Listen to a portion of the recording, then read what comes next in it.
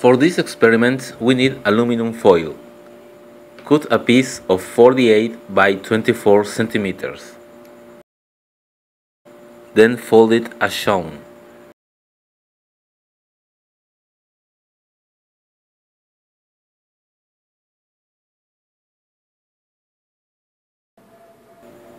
Using a cylindrical object of 2 to 3 centimeters in diameter, make a coil of 20 to 25 turns using magnet wire size 34 AWG.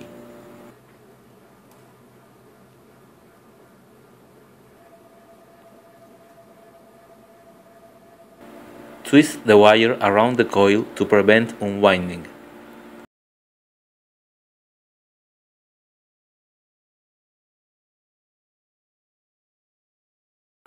Do the same at the opposite side of the coil. In order to have good electrical contact, you have to remove the varnish from the wire. Burn the ends of the coil and use sandpaper.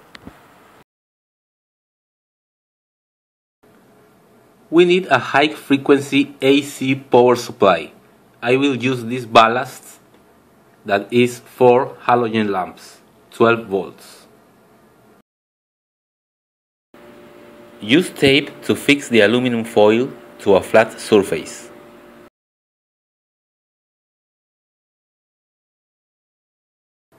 Okay, we are ready to do the experiment. The ends of the coil are fixed with tape to these two pieces of wood. This is to maintain the coil centered in the aluminum foil and avoid lateral movement. The coil is now connected to the ballast and let's apply power.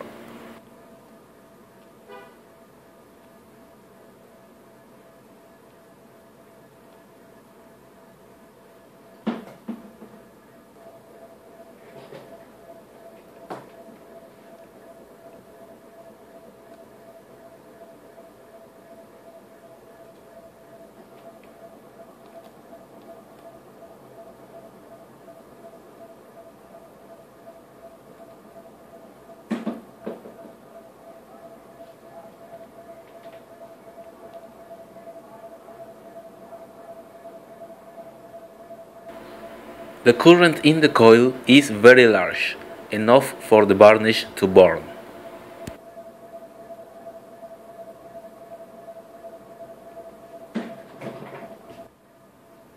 That was all for this coil, dead in the name of science. Okay, so why does this happen? The fluctuating magnetic field produced by the coil induces a current in the aluminum foil. This current in turn creates its own magnetic field. Because of Lenz's law, the two magnetic fields oppose each other, creating a force that pushes the coil upwards.